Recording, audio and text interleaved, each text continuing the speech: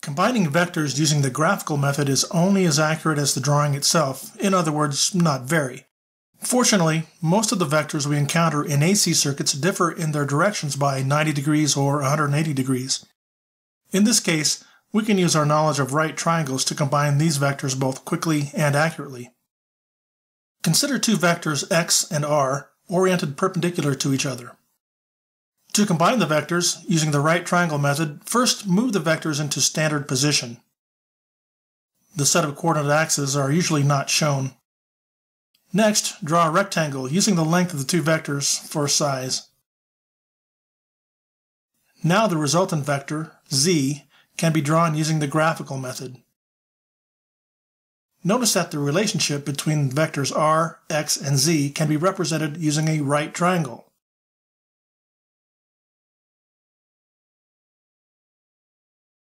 Each side of the extracted right triangle is labeled to represent the length or magnitude of the corresponding vector in the vector diagram.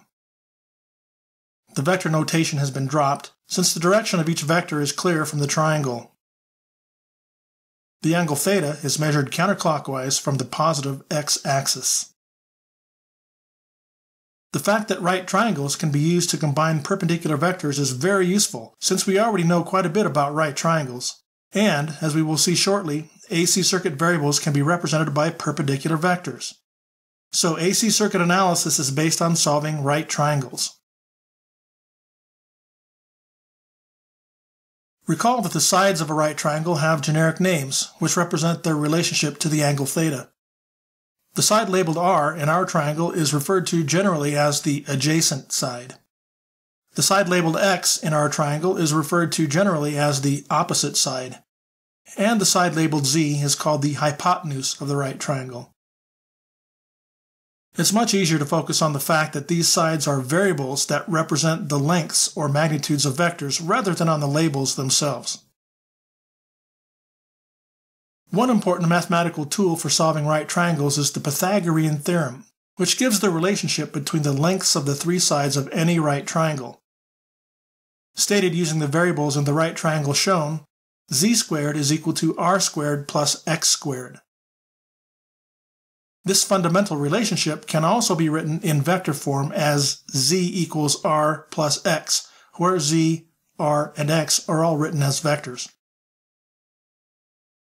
The other mathematical tool for working with right triangles is a set of trigonometric functions relating the ratios of the lengths of the sides to the angle theta. These are functions of the angle, not functions of the sides or their ratios. The first is the cosine function, read as the cosine of theta is equal to r divided by z, or the adjacent side over the hypotenuse. Next is the sine function, read as the sine of theta equals x divided by z, that's the opposite side over the hypotenuse. And last for our purposes is the tangent function, read as the tangent of theta equals x divided by r, which is the opposite side over the adjacent side. Also useful are the inverse trigonometric functions, which undo their corresponding trig functions. These are functions of the lengths of the sides of the triangle and not functions of theta.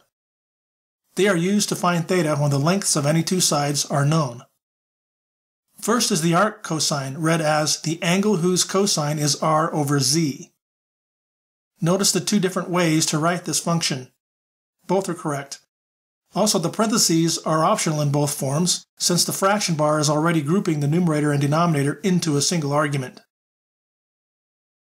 We also have the arc sine, read as the angle whose sine is x over z. Last, the arctangent function is used to find the angle whose tangent is equal to x over r. The relationships listed here are the tools you will need for working with AC circuits. Your success in understanding AC fundamentals will depend on how well you can work with these mathematical tools.